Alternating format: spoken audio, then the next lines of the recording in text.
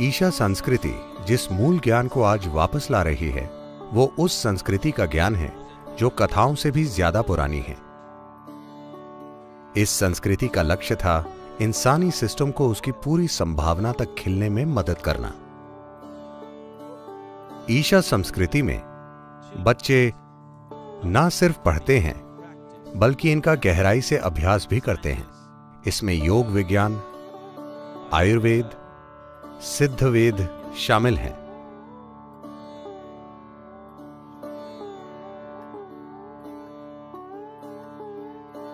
भारत में, इस संस्कृति में, संगीत और नृत्य को सिर्फ़ मनोरंजन की तरह नहीं देखा जाता।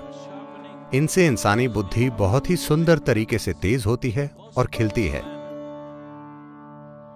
संस्कृत भाषा में ध्वनि के स्तर पर यह संभावना है।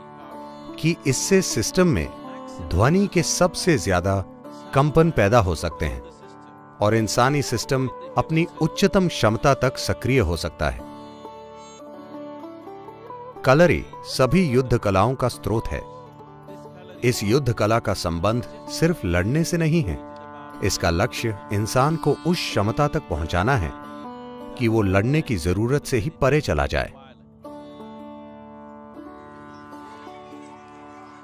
ऐसी क्षमता और समग्रता के लोग तैयार करना, ऐसी पीढ़ी बनाना, जो वर्तमान पीढ़ी से ज़्यादा तृप्त और आनंदमय है।